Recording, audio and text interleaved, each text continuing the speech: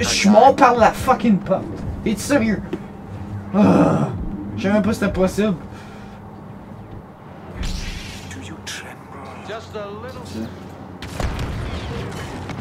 On perd une porte, là, gros.